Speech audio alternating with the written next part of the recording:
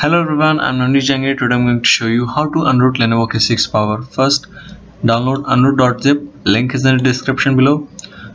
Now extract it. After extracting, copy this update and SU signed zip into your phone's internal storage.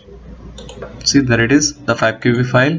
After copying it, now click on run twrp bat file batch file it will automatically reboot your phone into twrp recovery mode let wait few seconds. It's done. We have opened twrp recovery. Now click on install select your root zip unroot zip. Here we go. Click on it. Slide it. Wait till it till your phone unroots. Wipe dalvik cache. Click on reboot system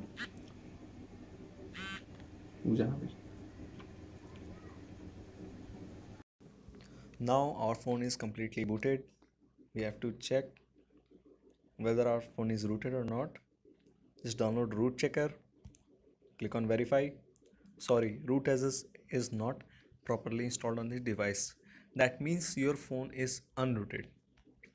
Thanks for watching this video. Have a good day. And if you have any further query comment below. And please subscribe my youtube channel